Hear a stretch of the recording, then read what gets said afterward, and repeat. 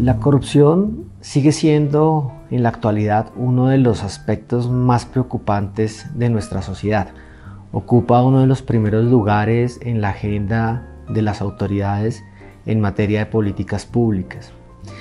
Lamentablemente las empresas, principalmente las empresas del sector real, se han visto involucradas en estos actos de corrupción que afectan gravemente las finanzas públicas y lesionan fuertemente los derechos de los colombianos. Estas empresas, muchas de ellas, tienen serios compromisos éticos por defender la legalidad y la integridad en la forma de hacer negocios y tienen la intención de fortalecer sus estructuras internas para evitar ser utilizadas para la comisión de actos de corrupción.